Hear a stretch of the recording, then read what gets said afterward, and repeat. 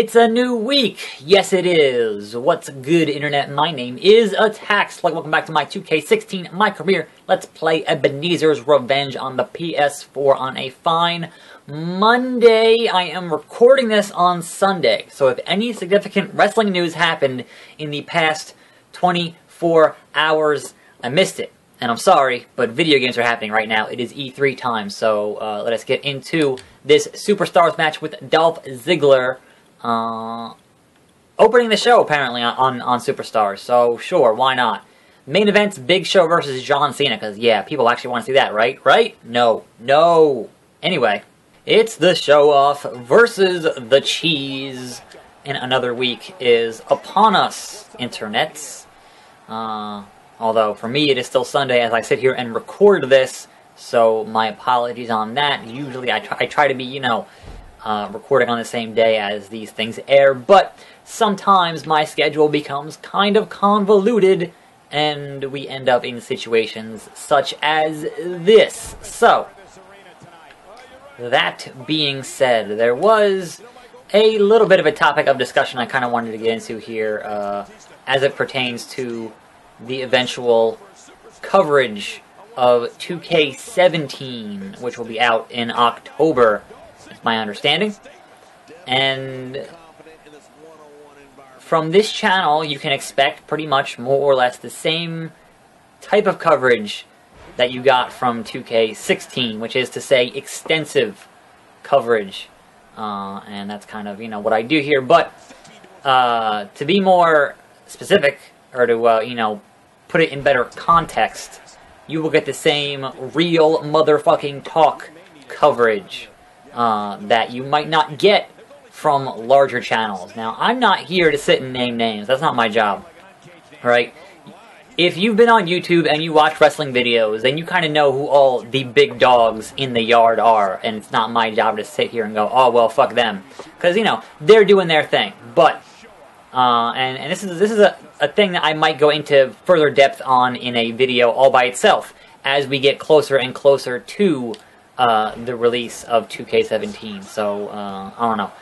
I'm it's it's a thing that I think about a lot. So what you're going to see here uh, in I'd say maybe two months or so, if not sooner, uh, you're going to see a bunch of 2K17 footage from a lot of the big 2K game YouTubers. Um, and that is because at a certain point, 2K will contact those YouTubers and fly them out to California to come take a look at their game. Now, what happens there is that those YouTubers obviously get bigger. Those big guys get bigger because they have all that footage before anybody else who has to wait until the game comes out, right? But here's the caveat for that is they aren't allowed to say anything negative when they go out and get flown out to that event they are under an NDA, a non-disclosure agreement, where they can't say anything bad about the game. Now, if you've watched any of my coverage on this channel of this game and last year's game, you would know I am very vocal on things that I think are terrible, things that I think are broken, and things that I think need changing. Now, whether or not they change them for this year's game, I have my doubts. Like, sure, it's possible. It is always possible they will put out the best wrestling game ever. Uh, but given their past history, do you really expect that to be the case this year? I expect marginal improvements at best, and I'm hoping they at least change up the stupid ass submission system. But regardless, uh, why does he keep reversing the AA?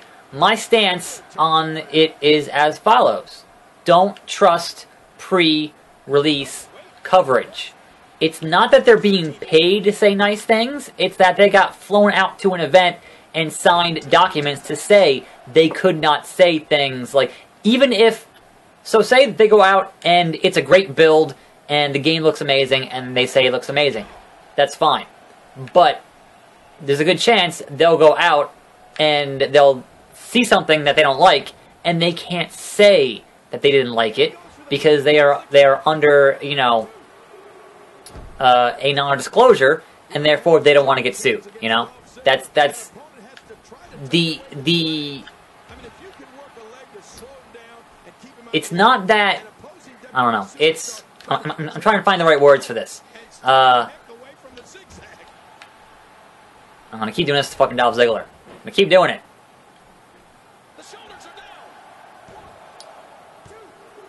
It is the the shadow of impropriety may as well be impropriety once you introduce that nugget of doubt.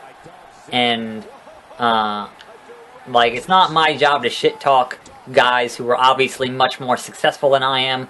I'm not jealous. Uh, if 2K invited me, I would tell them no thank you because I don't want to do pre-release coverage where I am bound uh, and gagged and not able to give you guys, the audience, the realest of real talk.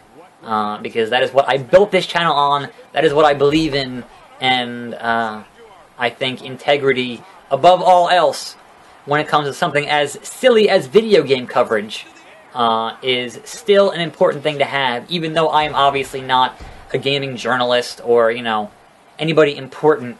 Uh, I still think it is, it, it, it is imperative to, you know, give you my honest opinion on uh, if I enjoy a game or not. Uh, and certainly I hold myself to a, a, very high standard on that. So uh, just keep that in mind when the 2K17 coverage starts hitting from, from, from, from all the big channels. And watch them just get way bigger and watch me stay the same, pretty much the same, you know, slow path of ascendancy, just getting there just a little bit at a time. And believe me, I am super grateful for anyone who watches uh, this stuff every damn day of the week. But, you know, it the system, the way it's set up, it's not...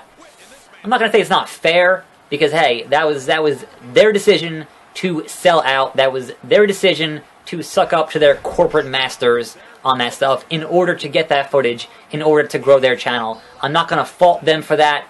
Uh, that is a personal decision, and that's kind of just, at the end of the day, that's what it is. But nevertheless, perhaps I am just too stubborn, perhaps I am just uh, uh, too much of a cranky old man on this stuff.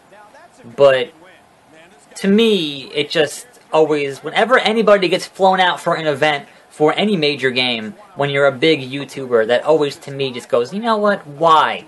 Like, I understand on the publisher side why, because YouTubers are looked at as having uh, uh, more of a pulse on the uh, their their finger on the pulse of what the audience wants. But at the same time, YouTubers or a lot of YouTubers don't work for a company. It's usually like me, a dude in a bedroom who happen to just get super huge, and uh, they don't have to follow like a journalistic code of ethics on any of this stuff.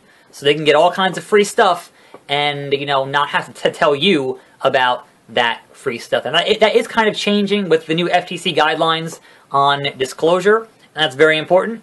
Uh, but at the same time, you know, we're, we're going to end up in that same position in a few months here of seeing a bunch of 2K17 uh, preview coverage, the build's not final coverage, and everyone just having glowing reviews saying it's the best wrestling game ever, and you should totally buy it, etc., etc. And that's just not me. Like, I'm still going to pre-order it, I'm still going to buy it, but I'm going to be here talking to you guys 100% real fucking talk. That's what I do here on this channel. Anyway, thanks for watching to my rambling rant and watching uh, my...